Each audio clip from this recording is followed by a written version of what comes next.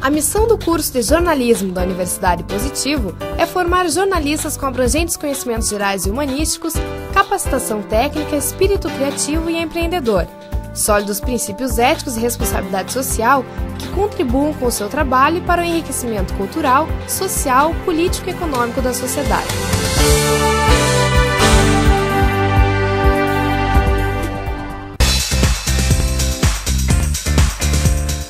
Começando mais um Tela 1. Se você está procurando conteúdo e informação, não perca as reportagens a seguir. O primeiro telejornal universitário diário em sua televisão. A notícia que realmente faz a diferença para quem mora em Curitiba e região metropolitana. Olá! Hoje é terça-feira, dia 5 de outubro de 2010 e começa agora mais uma edição do Tela 1. Confira os destaques desta edição. Exposição A Face Fala na Universidade Positivo. Como aproveitar a internet para ficar por dentro do mundo da moda.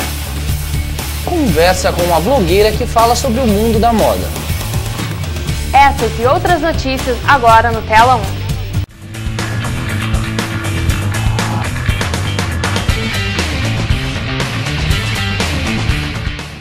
Fotografias emocionantes regadas a textos surpreendentes.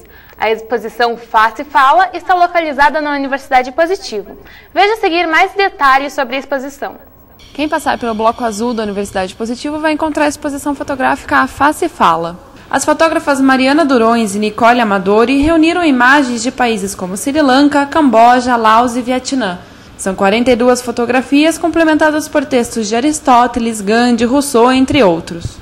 A exposição A Face Fala vai até o dia 20 de outubro e é aberta ao público. Você pode ter mais informações pelo telefone 3317-3446. Repórter Gabriele Chamisso para o Tela 1. Beto Rich e Glaze Hoffman já decidiram quem vão apoiar na corrida para a presidência do Brasil.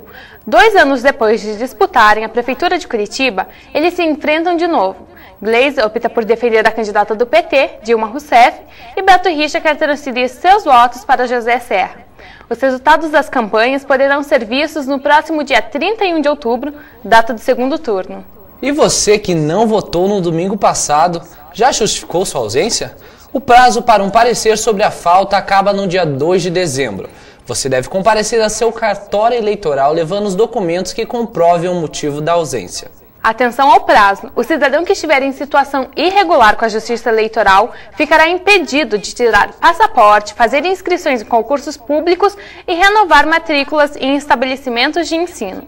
Mesmo quem não tenha votado no primeiro turno, pode comparecer normalmente às urnas no segundo turno. O inverno parece que não quer deixar a primavera reinar soberana. Será que amanhã vai fazer sol? Confira a seguir na previsão do tempo.